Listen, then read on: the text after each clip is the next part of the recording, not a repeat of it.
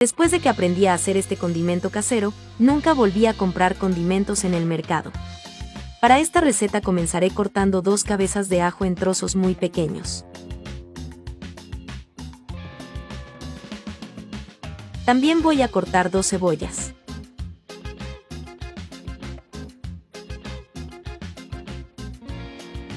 Un pimiento rojo. Y puede usar este condimento para condimentar carnes, tortillas o su comida diaria. Se puede almacenar hasta por tres meses en el refrigerador.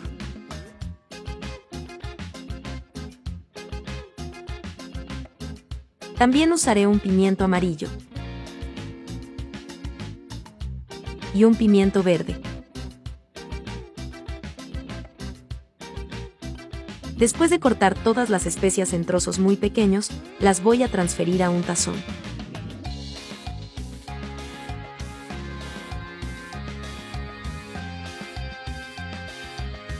También agregaré perejil al gusto. Como puede ver, este condimento rinde mucho, ni siquiera cabe en mi tazón, así que me cambié a un tazón más grande para poder mezclar todo bien.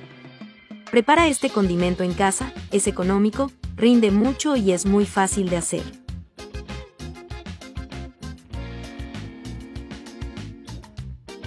Ahora voy a agregar una cucharadita de orégano, una cucharadita de romero, una cucharadita de pimienta negra y una cucharada de sal. La sal ayudará a mantener nuestro condimento por más tiempo. También agregué algunas hojas de albahaca. Mezclaré todo muy bien.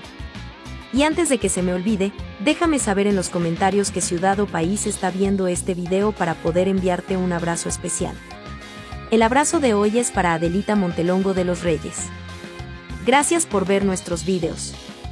A continuación, voy a poner nuestro condimento en un frasco de vidrio.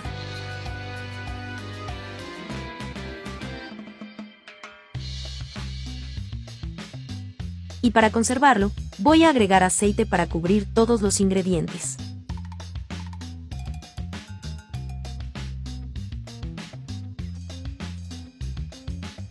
Y nuestro condimento está listo. Mira lo asombroso que fue. Espero que hayas disfrutado este video, muchas gracias por verlo hasta ahora. Un gran beso y hasta la próxima receta.